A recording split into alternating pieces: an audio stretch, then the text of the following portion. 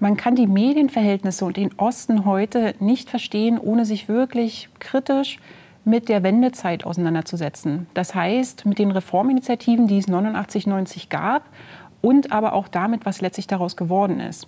Das heißt, äh, mein Argument ist, dass die Lügenpressedebatten, mit denen wir uns gerade auseinandersetzen müssen, vor allem in der Wendeerfahrung 89, 90 gründen und wir deshalb diese kritisch aufarbeiten müssen und es nicht rechtspopulistischen Gruppen überlassen dürfen, diese Themen für sich zu besetzen.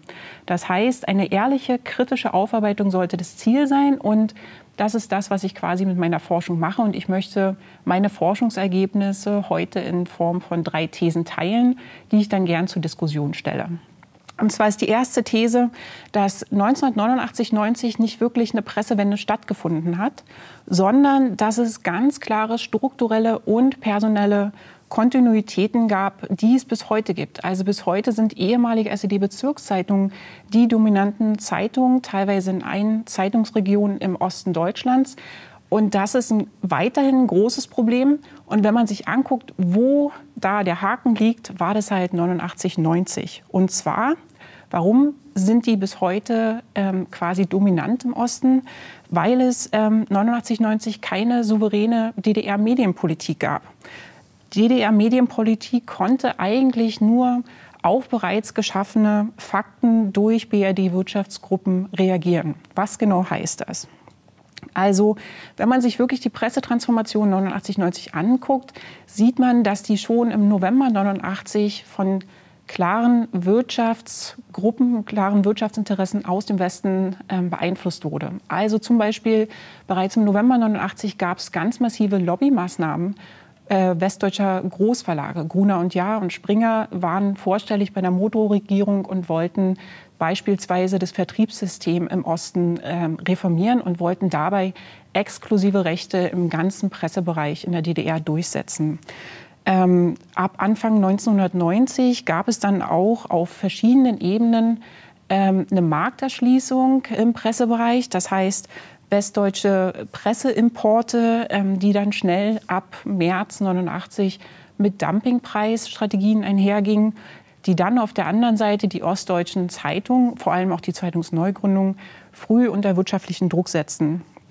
Im März 1990 gab es dann zum Beispiel auch durch Springer und Gruner und Ja und anderen äh, westdeutschen Großverlagen einen exklusiven Pressevertrieb für westdeutsche Presseprodukte. Das heißt, damit war im Prinzip der Markt in der DDR offen. Und ab Mai kann man sagen, war der Pressemarkt schon vereint, bevor letztlich beide Staaten wirklich äh, vereint waren. Ähm, Drittens muss man hier sagen, also da wird gerne auf die, auf die Treuhand zum Beispiel gesehen und gesagt, dass es die Schuld der Treuhand ist, zum Beispiel bei der Privatisierung der SED-Presse, dass hier Pressemonopolstrukturen dann später ähm, übernommen wurden.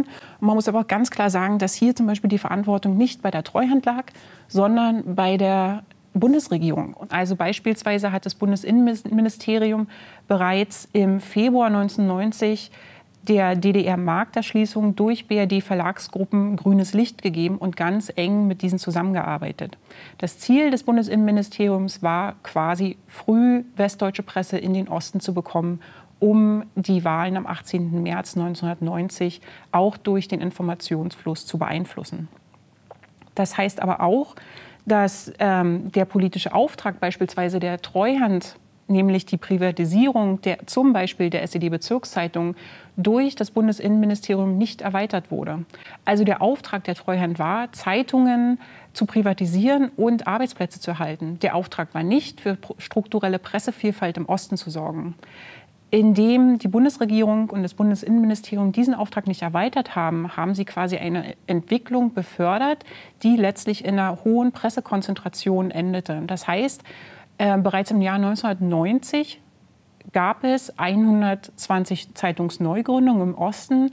Bis zum Jahr 1992 waren noch 30 von diesen übrig, unter anderem aufgrund einer starken Marktzentrierung durch ehemalige SEB-Bezirkszeitungen, die dann an wirtschaftsstarke Verlage aus dem Westen quasi übergeben wurden. Und wie gesagt, mein Argument ist, dass wir uns selbstkritisch mit diesem Teil mit diesem wichtigen Teil deutsch-deutscher Mediengeschichte auseinandersetzen müssen, um wirklich nachvollziehen zu können, was derzeit im Osten Deutschlands passiert. Danke.